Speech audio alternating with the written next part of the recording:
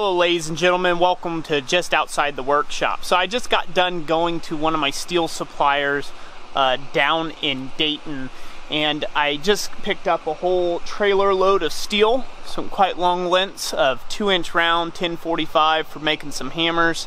Uh, I also got a long length of about, I want to say it's inch and a half I believe it is.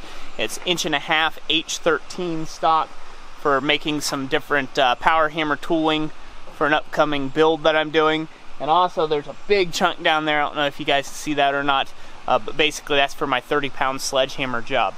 Um, it's a four inch, four and a half inch diameter, excuse me, uh, round 1045 stock for doing that.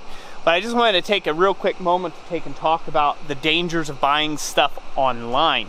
Now, you'll have to excuse me because this is going to be some shaky footage. I need to get myself a gimbal, but hey, there we are. Let me walk inside the shop here real quick so I can sit down with you and talk for a second here. Woo! All right, there we are. So I'll try to set you guys down here. Sorry, should have had this better planned for this video, but just kind of a little improv thing. So basically what I wanted to talk about um, is the fact that I nearly paid double for what I had here just by ordering it online. Now, my wife is a very smart woman, and uh, she's not as pig-headed as me, and she decided that it would be better uh, if we called in. And so she called in. Instead of the, looking at the online prices, it was like, man, that's going to be a lot of money. Uh, by the way, it was over $800, basically. It was well over $800. I think it was $886 for that out there online went to the steel supplier, went ahead and got to the steel supplier, or went ahead and called them up, and it was half that price. It was half, get that right again, half that price, or nearly so. It was like 456 instead. So, not everything that you can buy online is a good deal.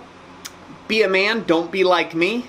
Go and inquire call them up. Sometimes companies will give you a much better deal than their stated prices.